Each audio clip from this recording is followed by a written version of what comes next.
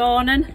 Up at the allotment this morning and we're going to try and get a few more plants in the ground. I've got a bit of emergency planting here to do so I'll tell you all about that in a minute. All right, let me introduce you to my sickly courgettes. Um, oh, can you see them there? Whoops. They're really not looking very well at all. Yellowing and feeble, not very big at all. Uh, I figure they're obviously deficient in something or something's not right here. Uh, the only two things that I can think that it might be is nitrogen deficiency. They're planted in a coir compost, um, which maybe wasn't the best thing to use. I probably wouldn't use that for seedlings again. Maybe it's something to do with that, or maybe it's um, they're too, I've kept them too wet and the soil's a bit waterlogged. Either way, I've hardened them off and I'm going to put them in the ground because they couldn't be doing any worse than they're doing in the pots and I think they need to get in the ground to um, resolve whatever's wrong. If it's nutrient deficiency, the soil that I'm putting them into has got lots of good nutrient rich compost in it and also the drainage will be better. So I'm going to put them in um, whether they're ready or not. Basically, they're going to have to go in or I think they'll just die.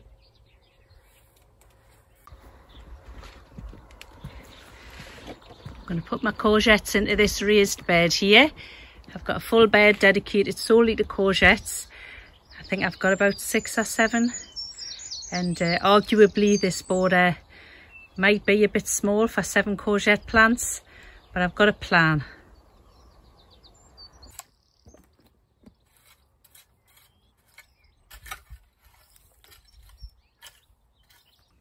Now as I'm weeding this border out, I see I've got this little plant and that little plant over there and possibly a couple more. This is last year's New Zealand yams that I had in this board. I'm planting them elsewhere and just like when you have potatoes that you leave in the ground and they sprout up, the yams do the same thing. I think what I'll do is I'll just leave them in because um, you don't harvest the yams until about three weeks or a month after the first frost, which could be late for us, certainly December um, was last year. So I'm going to leave them in because they stay quite small. Um, they cover the ground, so I'm going to be staking my courgettes up. So my plan is now, plant the courgettes in and I'll let the yams grow underneath them and then the courgettes will be finished and the yams can um, carry on growing after that. Right, I've weeded that border out, so I've got three little New Zealand yam plants, which as I see I'm going to leave in emergency measures for these poor courgettes. I'm going to get them in. They're in the uh, the little biodegradable uh, cardboard things that just disintegrate. I still like to peel a bit off though, just to get them roots a chance to get down. Um, as I say, I've got seven, so I'm just going to, well, I'll probably put six in equidistant. And did I say I was going to stake them when they get a bit bigger? Obviously, providing they survive. I'm going to stake them. I'm going to try and grow them a little bit more vertically um, if you just keep taking off the bottom leaves as they grow, it helps to prevent against the powdery mildew that courgettes are so prone to. Um, and apparently you don't, the plant doesn't need the leaves below the fruits. So if you have a courgette low down, you can take off all the leaves below that and it, uh, and that's not going to affect the growth of the fruit. So we'll start and plant them now.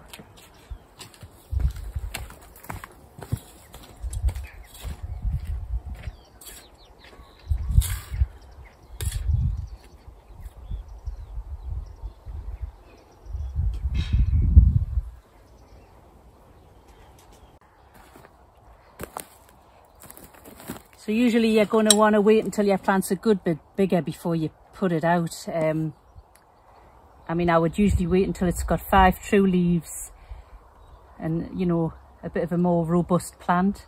But as I say, I think it's going to do more harm than good to delay at the minute. I'm going to be taking off those little first leaves as well because I've had it. Keeping those on isn't going to benefit your courgette at all or any plant for that matter. They're not photosynthesizing anymore. The only issue with this, putting these in so small, is if um, they do get any pest damage, it's going to be much harder for them to bounce back from that. If your plant's bigger, it can obviously bounce back from a bit more pest damage. but these are pretty fragile.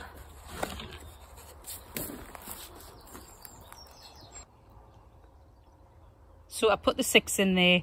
Um, as I say, the oca can stay quite small. Oca is another name for New Zealand yam. That can remain quite small until later on in the season um, and it'll grow up later after the courgettes are finished. It will be a good bit of, um, would you call that companion planting? Side by side planting, making the most of your borders. That's certainly what it is, if it works, we'll see. I, I mean, the truth is the New Zealand yams that are in there will just be tiny little ones that I have missed um, when harvesting them last year. So whether they'll come to much of a crop, but even if I get a little bit, that'll be all right, won't it? Okay, so another thing I'm wanting to get in today is um, some tomatoes. I've got these little tumbling ones, uh, like bush variety. I figured out the difference between determinate and indeterminate. Uh, determinate is the bush variety and indeterminate is the ones that grow tall and that you have to stake. So these I can, well, I hope they are determinate ones. I've lost all the labels, but I can just tell from the way that they're growing that they're having a tendency to um, grow back down over in a, in a bush form. So I'm going to put these around this um, raised bed in the pockets at the sides. It's like little pockets. It's made out of pallets. Um, so it's just like the ends of there. And that's worked quite well in the past. So we'll give that another try this year.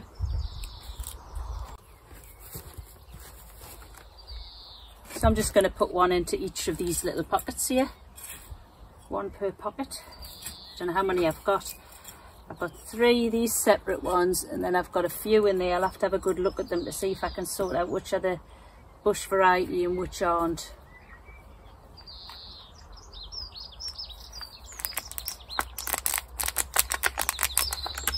And plant my tomatoes quite deeply because um, if you get the stalk part under the soil, it'll just push out more roots and you'll have a stronger plant in the long run. So don't be frightened to plant your tomatoes deep.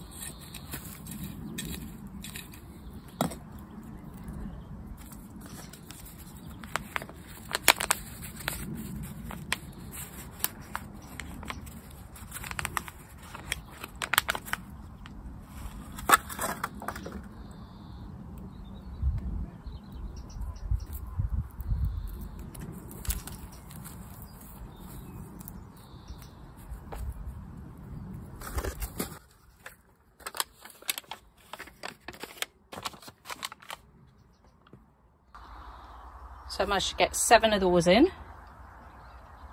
All around in the little pockets and the and the when they grow up they droop right over the edges of the uh, the pallets. It's quite pretty really to look at. Um, of course they're not very big plants, same with the courgettes.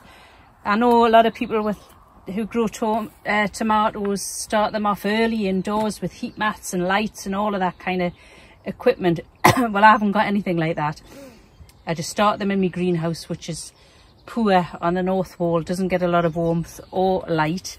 Um, so I'm fighting against it really. Um, but never mind, last year I got a good crop of tomatoes. And uh, although I, I can't say I feel terribly hopeful this year because the season's been so late to start, maybe if we get a really late, long Indian summer, um, I might have a chance, but we'll see how we'll get on. They're in anyway, that's the main thing.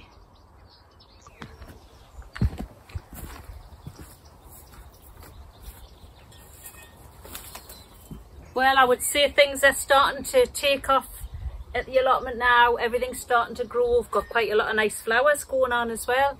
I'm going to carry on and do a little bit of weeding, get my plants that I've just put in watered and uh, make the most of this warm weather. It's cloudy, but it's very warm. It's quite humid actually today. Thank you for joining me. Catch you on the next one. Bye.